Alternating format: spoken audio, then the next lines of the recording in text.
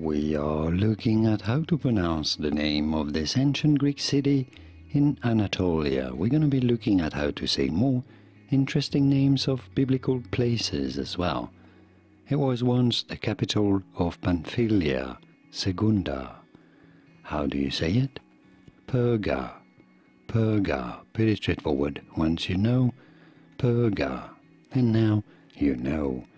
Here are more videos on how to pronounce more interesting names from the Bible in particular, whose pronunciations aren't always obvious. I'll see you there to learn more. Thanks for watching.